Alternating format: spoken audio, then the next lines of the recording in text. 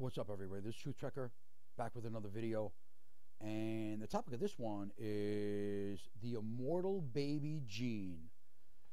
And the 2020s, the decade that we're told we're in now, that marks over 80 years since the immortal baby Jean experiment. And as we could see from a newspaper clipping at the time, back when immortality and metaphysics were spoken of in the media, baby's immortality sought in metaphysics experiment. And for anyone who doesn't know what metaphysics is, the law of attraction is one of the principles of metaphysics. Your thoughts create your reality. Whatever the mind can conceive and believe, it can achieve. Believe, and your belief will help create the facts. There's a lot of ways to put it. What you really need to know is physics is the study of matter and energy. Metaphysics is the study of cause and effect on matter and energy, and thought is the cause. Moving on to the article. In 1939, a secretive cult known as the Royal Fraternity of Master Metaphysicians made headlines when its leader, James Bernard Schaefer, announced their intention to conduct an unusual experiment. They were going to raise an immortal baby. Mm-hmm. Unusual then and unusual now. I wonder why. We haven't made any progress of a race, have we? Well, before we continue with the article, let's find out what we can about James Bernard Schaefer. James Bernard Schaefer was a man primarily known as the founder of a cult known as the Royal Fraternity of Master Metaphysicians and by an attempt to raise an immortal baby. So now this is the second time from two different sources that we've heard James Bernard Schaefer and the Royal Fraternity of Master Metaphysicians referred to as a cult. Let's make sure we're all clear on the definition of what a cult is. Cult, C-U-L-T, a system of religious veneration and devotion directed toward a particular figure or object. Let me repeat that for you. Cult, a system of religious veneration and devotion directed toward a particular figure or object. So, um, you can't have a religion that isn't a cult. Because every religion has a system of religious veneration and devotion directed toward a particular figure or object. America is a religion, and it has a system of religious veneration and devotion directed toward a mask. What you do is you give your power over to something you believe is floating around in the air. Sound familiar? Yeah. So then you don the mask devotedly uh, because that's your savior. You're powerless against this invisible entity in the air. The mask is your savior. The mask is your religion. That's your cult. Schaefer was born in Fargo, North Dakota. He earned a medical doctor's degree at the University of Michigan. So Dr. James Bernard Schaefer, MD, which the article doesn't tell you, uh, would be more accurate way of uh, describing him since he's a medical doctor. There's people walking around that are chiropractors calling themselves doctors. There's people walking around with um, philosophy degrees calling themselves doctors. You know, this is a medical doctor that's gone to medical school, graduated college, graduated medical school, got his degree, spit back all the information on the test, learned all about the physiology of the body, uh, learned all about the history of medicine, learned all about the placebo effect and the nocebo effect, which has been about around since 1800 and documented. He knows all that, took that knowledge, ran with it, said, I'm going to make sure a child lives forever. But how he was going to do it was um, keep the child ignorant to certain things and then not teach it, and then you, which is which is religion, right? They're going to keep you ignorant to certain things, like ignorant to death, you know, which is eternity inside the sun. But we'll get into that a little later. So now, Dr. James Bernard Schaefer, MD, also joined the Ku Klux Klan in his search for further enlightenment. So, you don't know the Klan, right? so, he's a guy who ganged up with people that, um, if they don't like what you're about or even like the looks of you, they'll come to your house in the middle of the night, light a cross on your lawn, drag you out, and hang you from a tree and kill you. So he's no stranger to death. But he knew he was a medical doctor, and I don't know why medical doctor. I mean, if I got this information, every medical doctor has this information. You know, it's just a matter of how it's presented. You can present anything like a joke or anything seriously, right? If, if you think life is a joke, then they present eternal life like a joke. I don't think eternal life is a joke. I present it seriously. People are dying because they believe that they must, like Michael Page told us in 2009, 2008, when the Book of Life was published. But anyway, back to the article. Klansman, Freemason, and medical doctor James Bernard Schaefer conducted an experiment in 1939 to keep a baby ignorant of death and hope it would live forever. The infant that would live forever was blue eyed redhead Jean Gauntt. Her mother, New York City waitress Catherine Gauntt, had indicated that she was too poor to afford to raise Jean, so she gave Schaefer permission to take charge of her.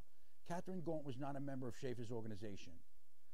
The master metaphysicians didn't officially adopt baby Jean, that'll be important, but they brought her into their luxurious Long Island mansion, the former Vanderbilt mansion, which you need a couple of bucks to get up into, which they had renamed Peace Haven when she was three months old, and they had complete control over every aspect of her life.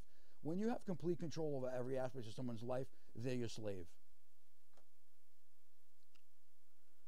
Baby Jean was given a private nursery where, in addition to a nurse who attended to her 24 hours a day, she was constantly watched over by Schaefer's followers. The plan was to make her immortal by never, never allowing her to hear mention of death or disease.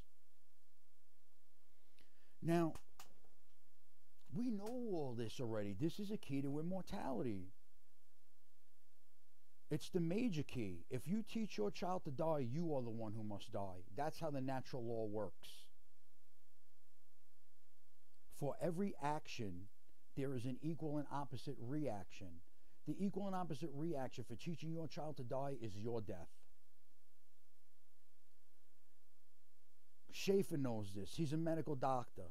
He's a Klansman. He knows about death. He gives people death as a Klansman. He knows about eternal life he knows he's out because he already has a daughter that he passed death to. So the best he can do, I guess he figures, is start with a clean slate and try to teach this baby that you know he found and nobody wants, right? Uh, how to live forever, and then he believes he's going to die, or he knows he's going to die, or I don't know what goes on in people's heads, but I know what the natural law is, and I know these Freemasons, they know the natural law up into the Vatican and every religion, every cult, and they're all teaching you how to die. They're all sending you back inside the sun.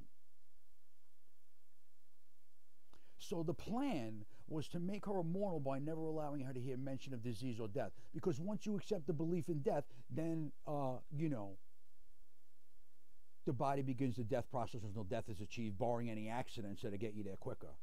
And again, uh, Michael Page, the Archangel Michael, told, told us all about this in 2009. Joined January 17th, 2009, right? Almost a thousand thousand subscribers in how many years? That's if I had a nickel for every person that went back inside the sun uh, since I found out how to avoid death, I'd have the tax man say me night and day, baby. Unfortunate. But hey, listen, can't help them. Can't help them. Best I could do is document what I know. Somebody comes along and says, yeah, you know what? Uh, this guy Page is right. And then, you know, gives you the link to a book, book right on the, right on the internet. Right on the internet. Free for the world to see. Right? Easy to read. Fourth grade reading level. Thank you, Michael. Appreciate it. I, I owe you one.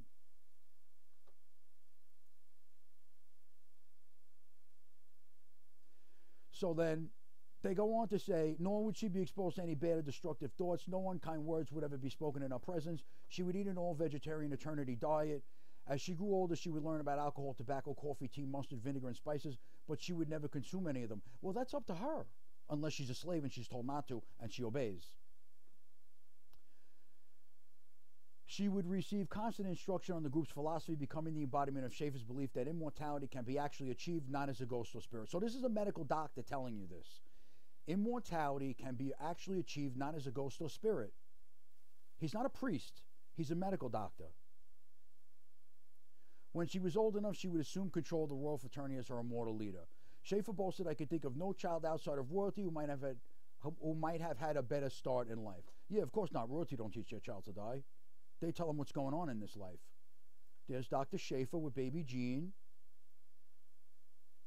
There's baby Jean celebrating her first six months of immortality. Yay! However, despite high hopes and grand promises, the experimented immortality only lasted 50 months. Yeah, they shut that down with the quickness. In December 1940, the master metaphysicians abruptly returned baby Jean to her parents who were living in a New York rooming house. Schaefer attempted to put a positive spin on the experiment's end. He explained now the parents have adjusted themselves and they want her back. In fact, Ms. Gauntt had retained a lawyer who had sent an ultimatum to the master metaphysicians demanding the return of the child. This same lawyer was also representing clients who were suing the organization for fraud. So this lawyer was basically making a business Uh, out of suing the pants off James Bernard Schaefer. and then this story was in the paper. He read the paper, said, Let me get a hold of this lady. He said, Hey, lady, how would you like to get your child back in a nice cash settlement to go along with it?